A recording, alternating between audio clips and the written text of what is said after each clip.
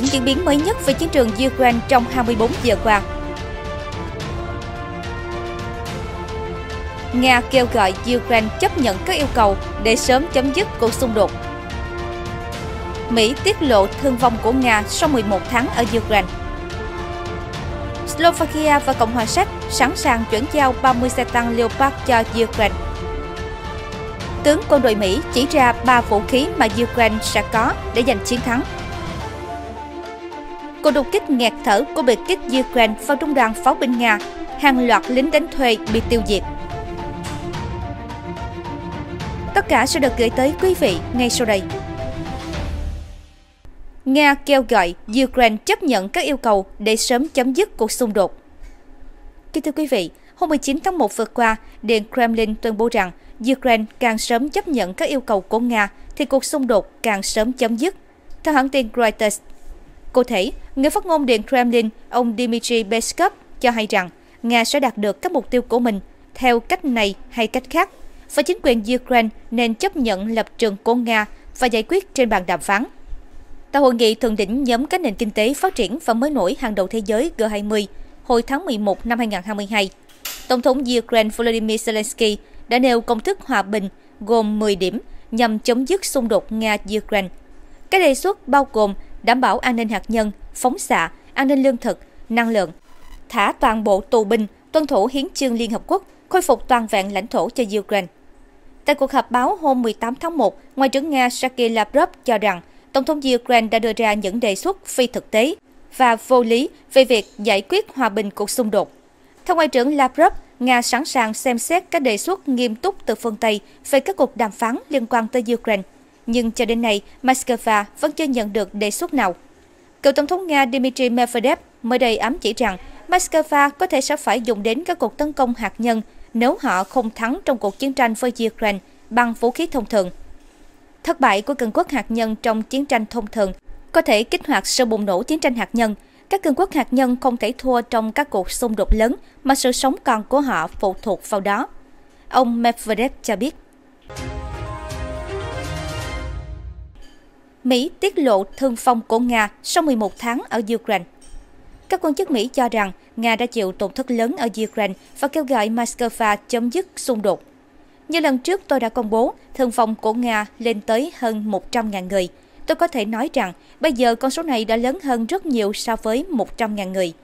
Chủ tịch Hội đồng Tham mưu trưởng Liên quân Mỹ Mark Milley nói trong một cuộc họp báo cùng với Bộ trưởng Quốc phòng Mỹ Lloyd Austin ở Đức hôm 20 tháng 1. Tướng Milley nói rằng số lượng thương vong lớn mà Nga phải gánh chịu bao gồm quân đội chính quy, lực lượng quân sự tư nhân Wagner và các lực lượng khác đang chiến đấu cùng lực lượng Nga. Tổng thống Nga Vladimir Putin có thể kết thúc cuộc chiến ngay hôm nay. Cuộc chiến đang trở thành thảm kịch đối với Nga. Tướng Mỹ nhận định. Theo ông Milley, Ukraine cũng chịu tổn thất rất lớn. Rất nhiều dân thường vô tội đã thiệt mạng do các cuộc giao tranh. Nga đang tấn công cơ sở hạ tầng dân sự. Ngoài ra, còn có thiệt hại đáng kể về kinh tế, thiệt hại lớn về cơ sở hạ tầng năng lượng và quân đội Ukraine cũng phải chịu một số lượng thương vong đáng kể. Tướng Milley cho biết thêm. Đây là một cuộc chiến rất khốc liệt và cả hai bên đều phải hứng chịu thương vong nặng nề. Ông Milley nói, đồng thời khẳng định các cuộc đàm phán sớm hay muộn sẽ phải diễn ra để đưa cuộc xung đột đi đến hồi kết. Trước đó, vào tháng 11 năm 2022, tướng Milley nói rằng số quân nhân thiệt mạng và bị thương của Nga sau hơn 8 tháng chiến sự với Ukraine có thể là lên tới 100.000 người, và phía Kiev có thể cũng phải chịu con số thương vong tương tự. Ông Milley cũng cho rằng cuộc chiến tới nay đã biến 15 đến 30 triệu người Ukraine thành dân tị nạn và khoảng 40.000 dân thường thiệt mạng. Cố vấn Tổng thống Ukraine, ông Mikhailo Polyak, vào tháng 12 năm ngoái cho biết Ukraine đã mất 10.000 đến 13.000 binh sĩ kể từ khi Nga phát động xâm lược nước láng giềng từ cuối tháng 2. Trước đó, vào cuối tháng 9, Bộ trưởng Quốc phòng Nga Sergei Shoigu xác nhận tổn thất của Nga tính đến thời điểm đó là 5.937 binh sĩ. Ông nói thêm rằng Ukraine chịu tổn thất nặng nề hơn nhiều so với Nga, với 61.000 binh sĩ Ukraine thiệt mạng và 49.000 binh sĩ bị thương. Tại cuộc họp báo hôm 20 tháng 1, Bộ trưởng Quốc phòng Lloyd Austin nhận định Nga đang cạn kiệt đạn dược và chịu tổn thất đáng kể trong cuộc xung đột tại Ukraine. Ông Austin tuyên bố Mỹ sẽ tiếp tục bảo vệ nguyên tắc rằng biên giới không thể bị vẽ lại bằng vũ lực. Mỹ ngày 20 tháng 1 đã công bố khoản viện trợ quân sự bổ sung trị giá 2,5 tỷ đô la cho Ukraine. Các viện trợ này bao gồm nhiều xe bọc thép và đạn dược hơn cho Ukraine. Moscow nhiều lần cảnh báo tất cả vũ khí nước ngoài cung cấp cho Ukraine đều có thể trở thành mục tiêu tấn công hoặc phá hủy chính đáng của quân đội Nga. Tại cuộc họp báo hôm 16 tháng 1, người phát ngôn Điện Kremlin Dmitry Peskov tuyên bố những gói viện trợ quân sự mới của phương Tây sẽ không thể thay đổi cục diện chiến sự ở Ukraine. Ông Peskov cảnh báo những xe tăng của phương Tây cấp cho Ukraine sẽ bị thiêu cháy giống như những khí tài khác. Slovakia và Cộng hòa Séc sẵn sàng chuyển giao 30 xe tăng Leopard cho Ukraine. Slovakia và Cộng hòa Séc ủng hộ ý tưởng cung cấp cho Ukraine xe tăng Leopard 2 do Đức sản xuất. Theo Sensor.net, điều này được tờ báo Frankfurter Allgemeine Zeitung của Đức đưa tin, trích dẫn các nguồn tin trong giới ngoại giao. Ấn phẩm lưu ý rằng, trước đó các quốc gia này đã giao hàng chục xe tăng chiến đấu kiểu Liên Xô của riêng họ cho Kiev. Trong khuôn khổ của cái gọi là trao đổi vòng tròn, Đức đã đồng ý thay thế chúng bằng một số lượng nhỏ hơn những chiếc Leopard 2A4 đã được tân trang lại. Tại hội nghị hôm nay ở Ramstein, cả hai quốc gia có thể đề nghị tạm thời từ chối giao thêm cho họ và gửi xe tăng đến Ukraine. Tổng cộng, chúng ta đang nói về 30 xe tăng Leopard đã được ngành công nghiệp mua lại và đưa vào bảo quản sau khi ngừng hoạt động từ các nhà kho ở Thụy Sĩ và Đức. Ông phẩm FASEC lưu ý. Tướng quân đội Mỹ chỉ ra ba vũ khí mà Ukraine có thể giành chiến thắng. Lực lượng vũ trang Ukraine sẽ được hưởng lợi từ ba hệ thống vũ khí tiên tiến này, theo cựu chỉ huy quân đội Mỹ tại châu Âu, Trung tướng đã nghỉ hưu Ben Hodges. Trong các gói viện trợ quân sự trong tương lai, lực lượng vũ trang Ukraine có thể được hưởng lợi từ ATAS, còn gọi là hệ thống tên lửa chiến thuật quân đội. Tướng Hodges nói với Newsweek, ATAS đã được quân đội Mỹ sử dụng từ đầu những năm 1990, có tầm bắn tối đa 300 km, theo Trung tâm hỗ trợ thu mua của quân đội Mỹ. Trung tâm cho biết ATAPS mang lại cho các chiến binh khả năng tấn công những mục tiêu có giá trị cao bằng hỏa lực chính xác từ khoảng cách tối đa. Ông Horset lập luận rằng ATAPS sẽ tạo ra sự khác biệt lớn như vậy đối với quân đội Ukraine. 300 km tương ứng với khoảng cách từ Odessa đến Sevastopol – cũng có nghĩa là người Ukraine sẽ có khả năng tấn công trung tâm hậu cần khổng lồ của Nga tại Sankai ở phía bắc Crimea. Ông giải thích. Tuy nhiên, bất chấp yêu cầu cung cấp ATAS của Ukraine, Thứ trưởng Quốc phòng phụ trách chính sách của ngũ giác đài, ông Kolenka cho biết hiện tại chưa phải thời điểm phù hợp. Ông nói với các phóng viên hôm 18 tháng 1, Chúng tôi nghĩ rằng Ukraine có thể đẩy lùi quân đội Nga mà không cần ATAS. Theo NBC, Hệ thống thứ hai có thể hỗ trợ lực lượng Ukraine là bom đường kính nhỏ. Theo tướng Horses, bom đường kính nhỏ phóng từ mặt đất CLSDB có tầm bắn khoảng 160 km, có khả năng kết hợp với bom đường kính nhỏ CBU-39 SDB và động cơ tên lửa M26. Vào ngày 28 tháng 11 năm 2022, hãng tin Reuters đưa tin ngũ giác đài đang cân nhắc xem có nên cung cấp CLSDB cho Kiev theo đề xuất của Boeing hay không. Loại vũ khí này được phát triển với sự hợp tác của Saab, tổ chức mô tả CLSDB là đặc biệt linh hoạt, hiệu quả cao và chính xác ở khoảng cách xa. Saab cho biết thêm, độ chính xác của CLSDB cao đến mức nó có thể bắn trúng lốp ô tô.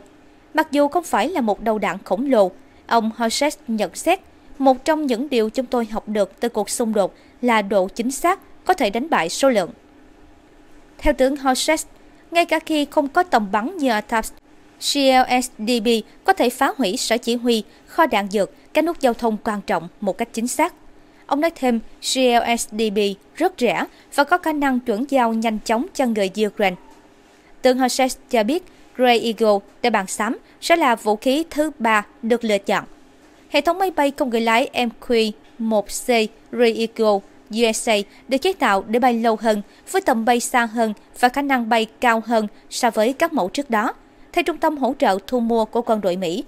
Ray Eagle có một động cơ nhiên liệu nặng được tích hợp, máy bay dài 8,5 m với sải cánh dài 17 m. Nhà sản xuất General Atomics Aeronautical System cho biết US có thể di chuyển với tốc độ lên tới 167 ktas hay còn được gọi là tốc độ không khí thực tế. Máy bay có thời gian hoạt động 25 giờ và có thể hoạt động ở độ cao lên tới 8.800 mét, cũng như mang theo tới 4 tên lửa Hellfire. Ray Eagles sẽ có phạm vi và tầm hoạt động mở rộng, giúp Ukraine có thể ngăn Nga sửa chữa cầu Kerch ở Crimea. Nhà sản xuất cho biết, vào ngày 22 tháng 11 năm 2022, một nhóm gồm hơn chục thượng nghị sĩ lưỡng đảng đã viết một lá thư gửi Bộ trưởng Quốc phòng Mỹ Lloyd Austin yêu cầu xem xét lại việc từ chối gửi máy bay không người lái Grey Eagle tới Ukraine, theo The Wall Street Journal. Cuộc đột kích nghẹt thở của biệt kích Ukraine và trung đoàn pháo binh Nga, hàng loạt lính đánh thuê bị tiêu diệt. Trong cuộc họp báo tại trung tâm báo chí Kiev sáng thứ Bảy, ngày 21 tháng 1, phát ngôn nhân Bộ Quốc phòng Ukraine, chuẩn tướng Oleksiy Gromov cho biết, giao tranh ác liệt đang diễn ra ở phía đông bắc và phía nam thành phố Bakhmut. Quân Nga đã mở 22 cuộc tấn công vào Krasna Hora, Petrogradne ở phía đông bắc và 5 cuộc tấn công vào Obidne ở phía nam của thành phố Bakhmut. Họ đã vấp phải sức kháng cự mạnh của các lực lượng phòng vệ Ukraine. Tuy nhiên, quân số của quân Nga bao gồm quân Wagner và quân chính quy Nga đã được bổ sung rất đông đảo trong mấy ngày qua để bù đắp cho các tổn thất kinh hoàng của họ. Vì thế, họ vẫn chiếm ưu thế về quân số từ 8 đến 10 lần quân Ukraine. Hôm thứ Năm, ông chủ tập đoàn Wagner Shevcheny Prigozhin lại đụng độ với Bộ Quốc phòng Nga về vai trò công ty lính đánh thuê của ông ta ở Ukraine, cũng như các hướng dẫn mới nhất của Bộ Quốc phòng Nga dành cho binh lính. Trong bài phát biểu trên truyền hình trực tiếp vào ngày 13 tháng 1, ông Putin không đề cập đến vai trò của quân đội Wagner trong cuộc giao tranh ở thị trấn khai thác muối Solida. Thêm vào đó, ông ta cho rằng các thành tựu quân sự là do Bộ Quốc phòng Nga. Một chỉ huy quân sự Ukraine thừa nhận rằng nhận xét của Putin không sai. Thương vong của quân Ukraine chủ yếu là do hỏa lực pháo binh của quân chính quyền Nga bắn từ xa. Ngược lại, quân Wagner chết nhiều là do mìn bẫy và hỏa lực từ súng máy của quân phòng vệ Ukraine trong các đợt tấn công biển người. Trong mấy ngày qua, quân Nga chịu thiệt hại nặng vì các cuộc tấn công của pháo binh và không quân Ukraine. Tuy nhiên, do quân số của đối phương quá đông, các đợt tấn công biển người của quân Nga đang giúp họ tiến lên, mặc dù thương phong là rất cao. Theo chuẩn tướng Oleksiy Kromov, trong ngày 20 tháng 1, không quân Ukraine đã mở 21 cuộc tấn công vào các khu vực tập trung lực lượng Nga, cũng như 6 cuộc tấn công vào các vị trí của hệ thống hỏa tiễn phòng không của họ. Ngoài ra, lực lượng hỏa tiễn và pháo binh của chúng ta đã tấn công 6 sở chỉ huy, 7 khu vực tập trung quân địch và một kho đạn của quân xâm lược. Ông nói, trong ngày 20 tháng 1, quân Nga đã thực hiện 4 cuộc tấn công bằng hóa tiễn, hai trong số đó nhằm vào cơ sở hạ tầng dân sự của Matvivka, vùng Zaporizhia và tiến hành 15 cuộc không kích. Ngoài ra, kẻ thù đã tung ra hơn 30 cuộc tấn công bằng nhiều hệ thống phóng hỏa tiễn. Sau khi bị đánh bật khỏi thành phố Kherson, quân Nga đã rút lui về phía đông sông Dnipro. Từ đó, các lực lượng Nga đã tăng cường các cuộc tấn công bằng súng cối và pháo binh và thành phố Kherson mới được giải phóng ở miền nam Ukraine, đồng thời gây áp lực dọc theo các tiền tuyến ở phía đông. Trong thời gian gọi là đình chiến nhân lễ Giáng sinh, quân Nga đã tấn công Kherson 70 lần bằng các cuộc pháo kích. Cục tình báo Bộ Quốc phòng Ukraine gọi tắt là SBU xác định một trong những đơn vị Nga chịu trách nhiệm cho các cuộc pháo kích vào Kherson là Trung đoàn pháo binh 291, có đại bản doanh đóng tại Troyskaya thuộc nước Cộng hòa Ingushetia trong Liên bang Nga. Trong đêm giao thừa, pháo binh Ukraine đã tấn công đơn vị này của Nga gần làng Shulakivka, tổn thất đối phương lên tới 500 người chết và bị thương. Tuy bị tổn thất nặng như vậy, họ vẫn có thể tiếp tục tấn công vào Kherson. Biệt kích Ukraine đã mở một cuộc tấn công táo bạo vào làng Fedorivka, nơi trung đoàn pháo binh khét tiếng này của Nga đặt các khẩu trọng pháo của chúng trong các khu vực dân cư để tấn công vào thành phố Kherson. 10 khẩu trọng pháo của đối phương đã bị phá hủy. Thiệt hại nhân mạng của quân Nga chưa thể xác định được. Biệt kích Ukraine đã rút lui an toàn. Nga đã tung máy bay trực thăng vận vũ trên bầu trời để tìm kiếm quân Ukraine nhưng vô hiệu. Cuộc đột kích này hy vọng có thể giảm bớt được các cuộc tấn công vào thành phố Kherson. Tuy nhiên, các cuộc tấn công của quân Nga vào các khu vực dân cư và cơ sở hạ tầng dân sự trong vùng vừa mới được giải phóng của Kherson vẫn còn rất cao. Kẻ thù vẫn có thể phóng hỏa tiễn từ các chiến hạm trên hắc hải, từ các máy bay và từ các lực lượng pháo binh của chúng ở phía đông sông Dnipro.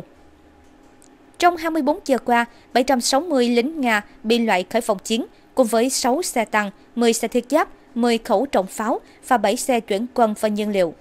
Tính chung từ ngày 24 tháng 2, 2022 đến 19 tháng Giêng, 118.530 binh sĩ Nga đã bị loại khỏi phòng chiến. Tổng thiệt hại chiến đấu của quân xâm lược còn bao gồm 3.136 xe tăng, 6.235 xe thiết giáp, 2.122 hệ thống pháo, 422 hệ thống phóng hỏa tiễn hàng loạt, 220 hệ thống tác chiến phòng không, 287 máy bay, 277 trực thăng, 1.882 máy bay không người lái, 749 hỏa tiễn hành trình, 17 tàu chiến, 4.896 xe chuyển quân và nhiên liệu và 190 đơn vị thiết bị đặc biệt.